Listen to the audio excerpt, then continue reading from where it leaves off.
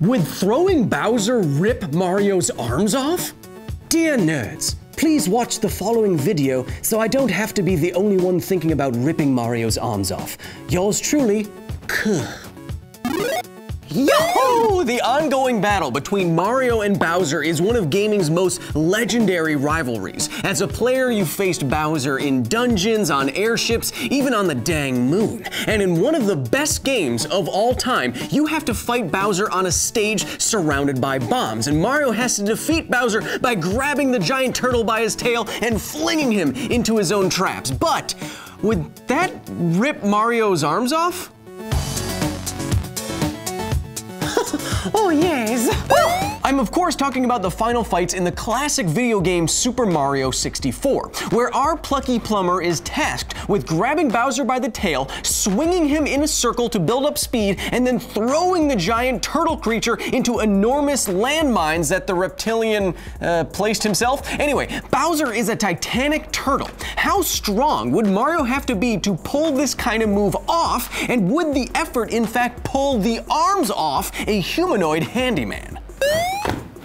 If we are gonna throw something like Mario throws Bowser, then it's gonna take some amount of force. And just how much force that will take will depend on exactly how massive Bowser is. There aren't any consistent canonical heights for Super Mario characters. Their sizes and their scales relative to each other are always changing game to game and are therefore up for debate. For example, if we go by the latest Super Mario game, Super Mario Odyssey, Mario is a very short dude, just 112 centimeters or about 3 foot 8. And we can use this relative size to scale other characters. Bowser, based on Mario here, would then be around 188 centimeters tall, or 6'2". This is interesting and a very useful figure, although it doesn't really tell us how massive a turtle like a Bowser would really be. For that value, we should start looking at actual giant turtles. You can go. Oh no! If we want a good Turt comparison that actually looks like Bowser, the alligator snapping turtle wouldn't be a bad place to start. This snappy boy even kind of looks like King Koopa.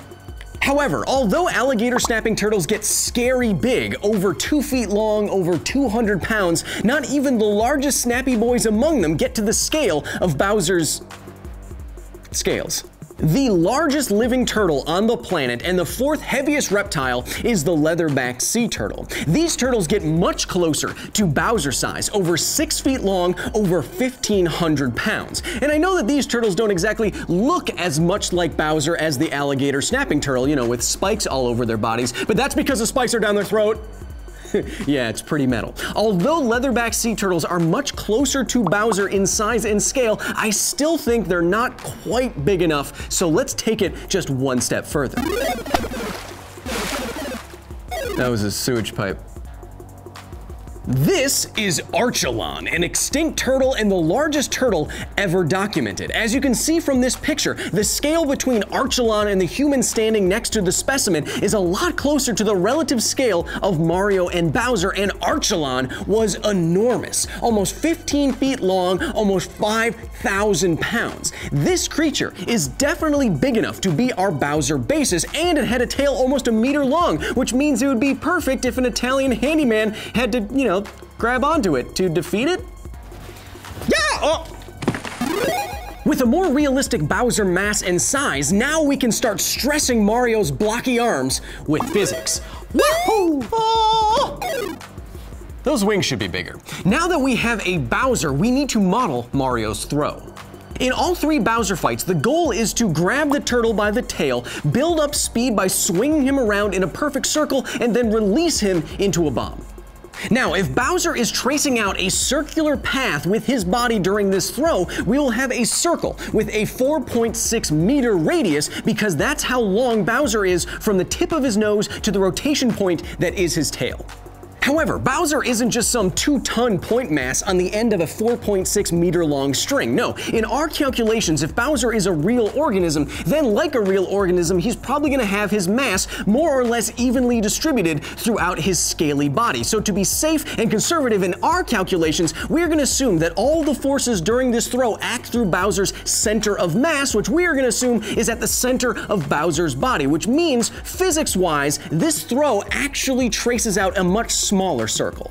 Now finally on to the potentially arm-ripping forces. If you've ever spun anything around on the end of a string, you intuitively know that it takes more force to spin something around more quickly than it does to spin that same mass more slowly. And so the velocity of Bowser during this spin will be critically important. At every single point on this circle, the velocity of Bowser during the spin has to equal the amount of distance Bowser is covering per some unit of time. If we choose that distance to be the full circumference of the circle and the time to be the time it takes to complete one full rotation of that circle, the circumference, then we can get the velocity.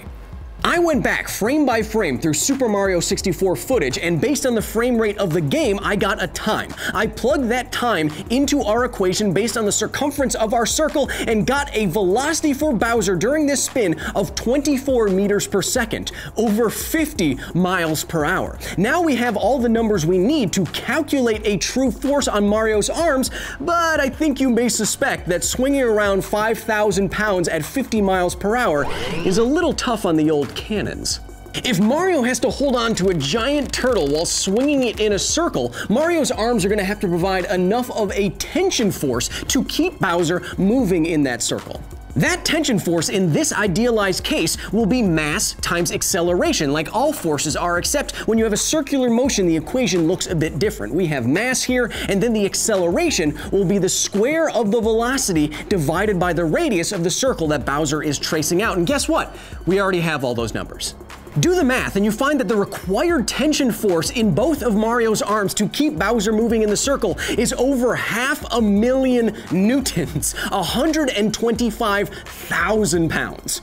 By our estimates, it would be harder for Mario to hold onto Bowser's tail during this spin move than it would be to tie a rope to an F-22 Raptor and keep it from taking off. Harder than this. Well, you know, if you weren't incinerated by the engines and all that. Ah! With a force value now in hand, we can estimate what would happen to Mario's hands. Fleshy blocks? A brute force way of approximating what would happen to Mario's arms under a Bowser force is to consider Mario's arms like a solid piece of material, like a steel rod.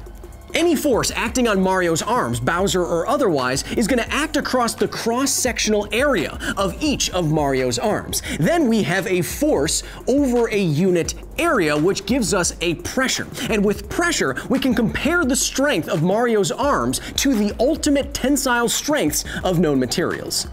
Using the cross-sectional area of my arms just to be very conservative, I'm a lot bigger than that dude. Oh, no. I get a value for pressure on each of Mario's arms of 60 megapascals, 60 million pascals of pressure. As a point of comparison, this is just about the ultimate tensile strength of copper, so you gotta imagine it would do something pretty bad to a humanoid's arms. Ah.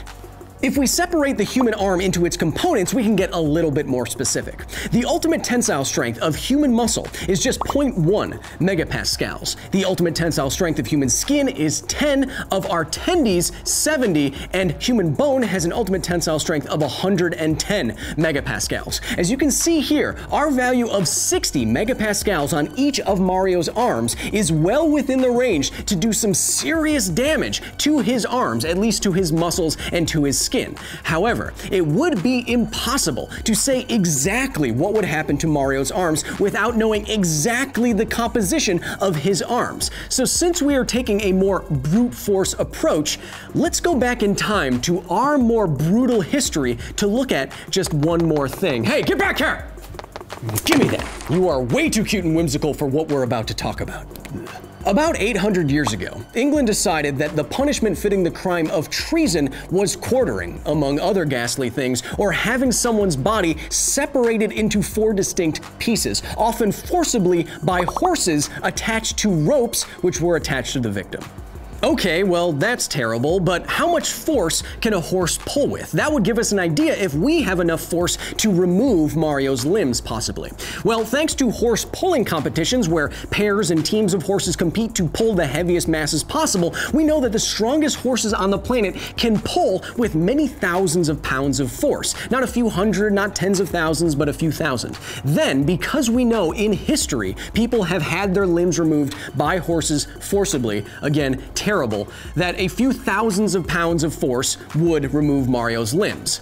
During the throw, Mario's limbs, each of them, would experience 20 times more force, 60,000 pounds of force, than the current world record for the strongest horse pull.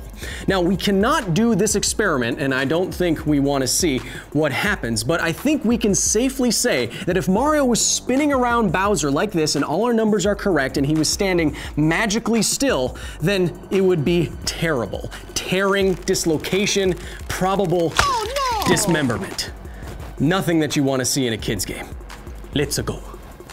So, would the famous Super Mario 64 Bowser toss actually rip Mario's arms off? Well, if all of our estimations and calculations and comparisons are correct, yes, that's very likely that that would happen. Without some kind of super durability or super strength, if he was firmly planted during this feat, this plumber would lose his pipes.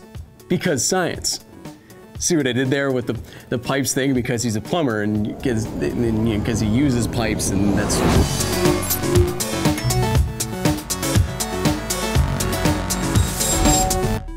Like we said in the previous episode about how important assumptions are for conclusions, there's another way to go at this too. I mean, under this kind of force, the same amount of pulling force is on Bowser's tail that is on Mario's arms. So would the turtle's tail rip off before Mario's arms would rip off. That gets into fictional biology, I don't know, but it would probably be gross either way. Also, this is only happening because when you spin as Mario, you are stuck magically in one spot, like he is a pole planted in the ground. In real life, if you tried to spin something around that fast, that's that heavy, you would start to move and wobble and it would lessen or graden the forces on you. So it's Super Mario's fault that we did this to him.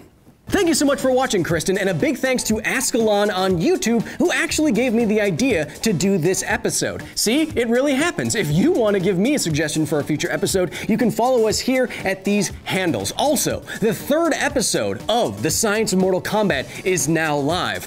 Oh, we built an ice axe out of nothing but ice. You want to see what happens? Because it's a brutal.